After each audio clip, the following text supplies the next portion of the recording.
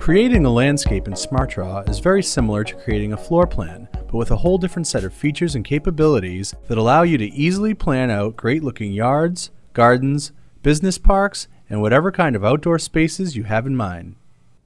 To get started, select Landscape Design here to the left. You have lots of examples to build on or use for inspiration, from office parks and deck plans to yards with pools, patios, and gardens. We'll start with a basic blank residential landscape. The tools in the Smart Panel are now customized to help you map out a landscape.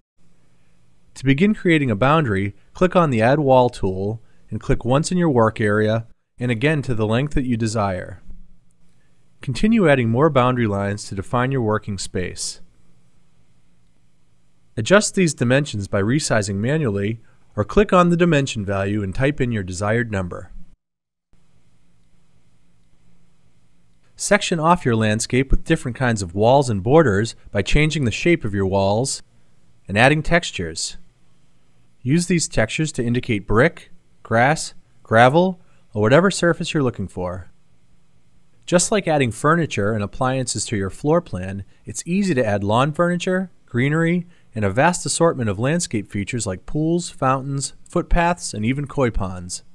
To search for any symbols that aren't already in your library, click on the blue Search Symbols text at the top of the Smart Panel to open the Symbols tab with a search bar. Type any keyword and hit Enter, or click here to search. The search results will be grouped by the libraries they were found in.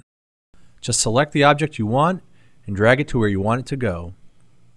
Either use the control handles to resize, rotate, and move the objects, or change the dimensions numerically, and use the arrow keys to get the objects just where you want them. The text tool allows you to indicate what is intended for certain areas and to specify the types of plants, trees, and flowers that you want. Just click on the text button and type in the name, and use the arrow tool to indicate what it references. You can draw using any scale selected from the standard architectural, civil engineering, mechanical engineering, and metric scales. You can also define your own scale if it is not among the standard scales offered. You can change the scale of any drawing at any time. You don't have to choose this before you start drawing. You can also add a scale independent annotation layer.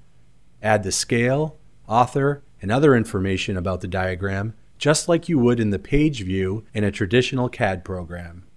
This annotation layer automatically adjusts its size and position as the drawing area or paper size changes. Creating detailed and visually rich landscapes is quick and easy with SmartDraw.